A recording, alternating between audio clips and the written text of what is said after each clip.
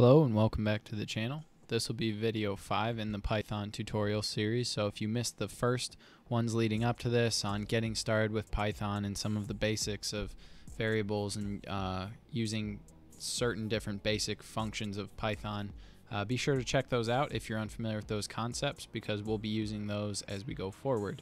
So in our previous video we explored how to build a four function calculator but it had its limitations. All you could really do was call it once and do one operation with it.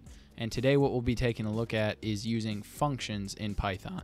And a function is basically any code that you might want to use and reuse and it would make more sense to group it in some sort of reoccurring code structure where you can use it over and over again. So if you think about an actual calculator, adding, subtracting, multiplying, raising something to an exponent, these are things you would want written as functions, not just one-offs, because you want to be able to call it anytime. So what we're going to do today is we're going to start by creating an addition function. And right at the beginning, it's going to look just like what we did for our calculator, but you'll start to see the value of it as this video goes on.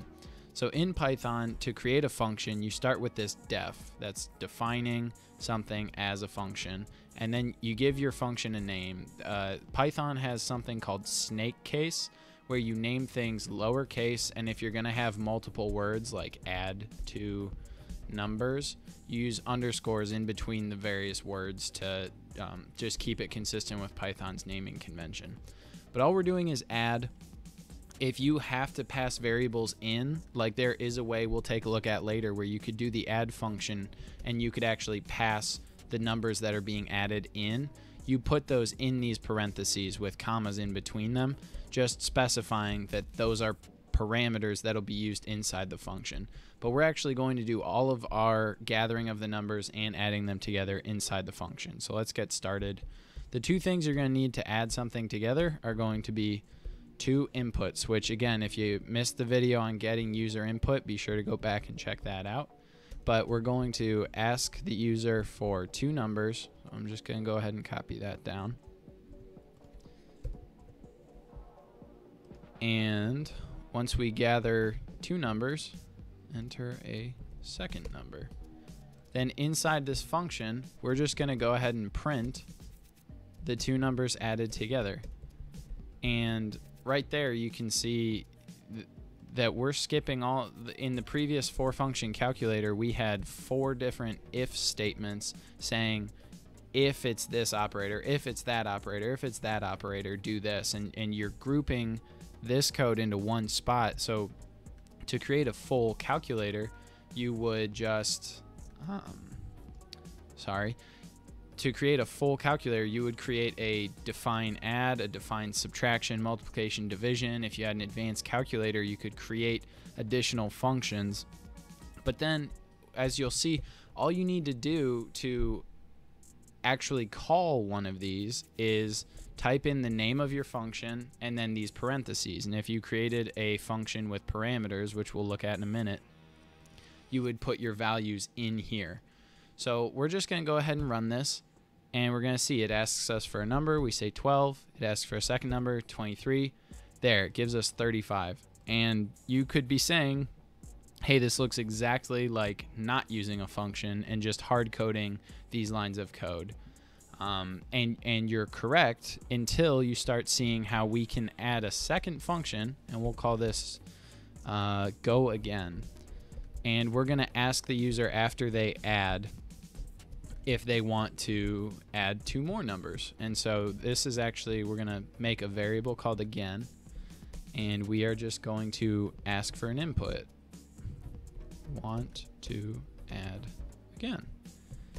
And we'll tell them what sort of values we're looking for, yes or no. And then what we're going to do is if they enter yes. And again, if you're confused about any of the formatting that you're seeing here, be sure to go back and look at the previous videos. Um, or you can just trust me that it is the way it is because it is the way it is. Um, but if they enter, if they say they want to go again, we're going to run that add function again, just like we did the first time. And then the only other thing we need to do is after we're done adding, we actually have to call this go again function. So before I run it, if you just see these are not actually doing anything until called. That's the nature of a function. It's a block of code that you store somewhere and you can call on anytime you need it, but it's not going to run. So Python runs top to bottom, and the first actual instruction that does anything here is us calling this add function. So you can see you're going to come through and add once, and then we're running the go again function, and it's asking if you want to add again.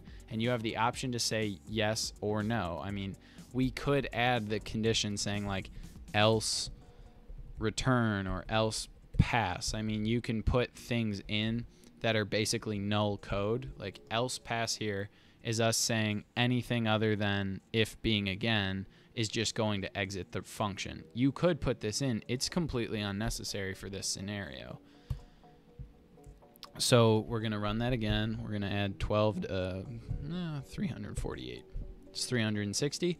And now we'll see, let's say, yes, I have another addition I want to do. Well, that was 360. Let me add 834 to it. Oh, you can't type 360 plus 834 in. Let's do 33, 133. Yes, I want to do it again. 12. And be sure not to type out the entire mathematical equation as an input.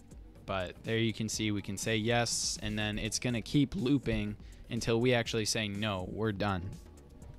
So right away you can see rather than have to stop this code and start this code, stop this code and start this code to add multiple different sets of values together, we can just go ahead and create functions that call each other and give the operator the power to exit anytime they'd like or run it again as many times as they like.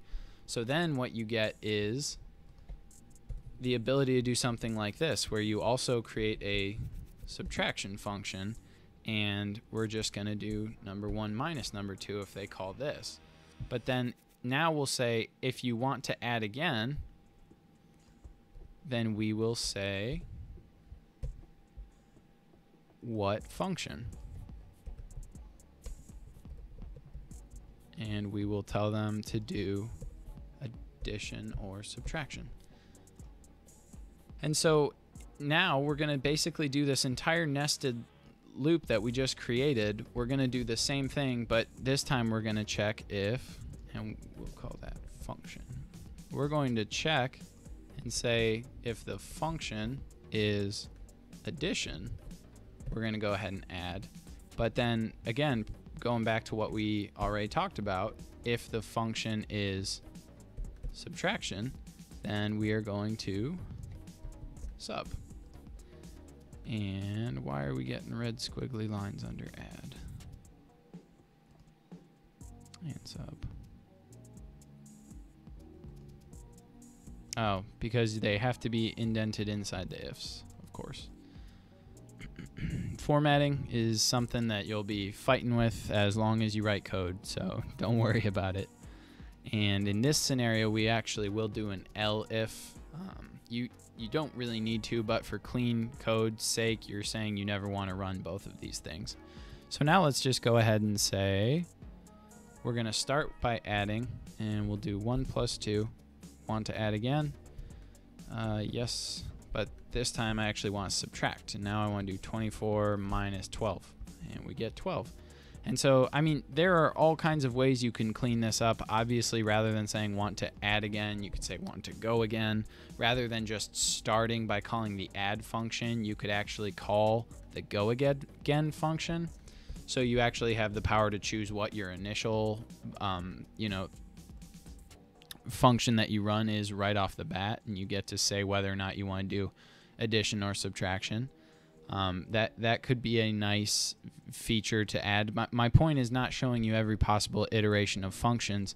My point is when you create functions, and there I actually tried to run a function that had already stopped, but um, when you create functions, you give yourself an enormous amount of power to do things that you would have to hard code every scenario um, you can see right away if you if you start answering prompts incorrectly, it just exits. It's, it doesn't crap out. It doesn't give you an error message. It just exits.